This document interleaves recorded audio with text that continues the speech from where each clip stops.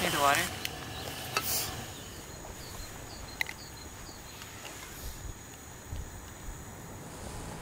We hike a lot for climbing. There's always this like bigger objective at the end of a hike, you know? So I don't find that in my spare time. I'm like, yeah, I want to go out hiking. But new experiences are always where we grow as people.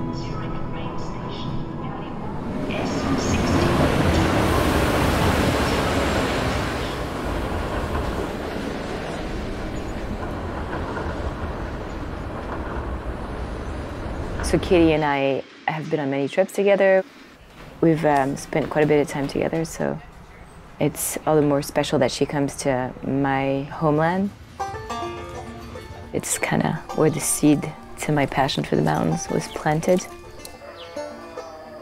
Caroline, she's a wife and she's a mother. She's also a professional guide, so she juggles a lot, and I think she handles it really well, which I find pretty inspiring.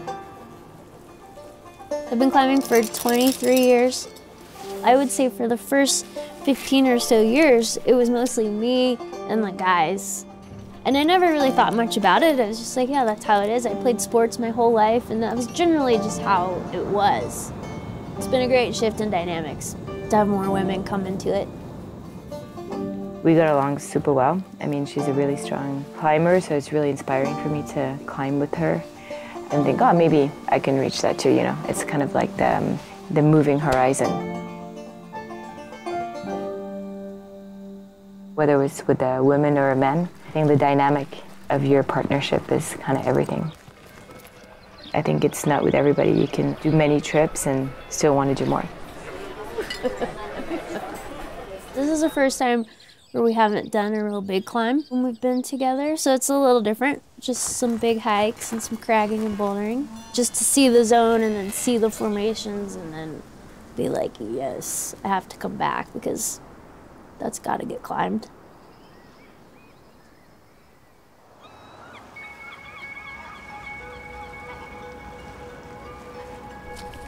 This is the first trip I've been on since I've been 15 years old where I went hiking for the sake of hiking. We went to hike Hardergrat, which is this really beautiful green ridge traverse, which from down in the valley you're like, oh yeah, looks cute, it's nice, it's gonna be sweet. And it wasn't as sweet as it looked from below. It was quite vicious.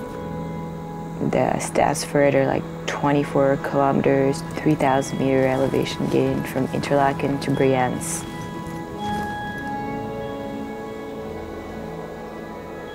I like hiking for the nature and kind of just getting back to that, I think brings a lot into a person.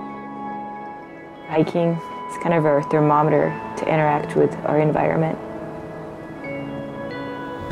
There's so much sun on one side and it's shaded on the other side and just adds massive contrast and makes it look even more knife edge.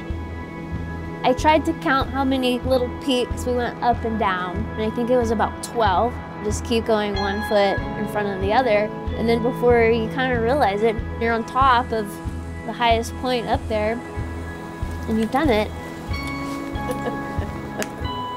that is the reward, just seeing the beauty of nature beauty is so impactful in the same way for everybody. And I think it just brings bliss to your soul. I think my advice to women is just to go out there and, and just do it. Learn the right skills to be safe and believe in yourself, be self-confident, and just go get after it. Life is so short, and we only get this one in this moment.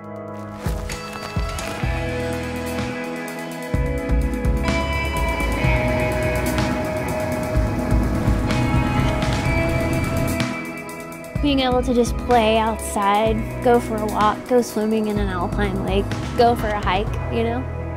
It's really simple, it's really basic, but I think it's so valuable.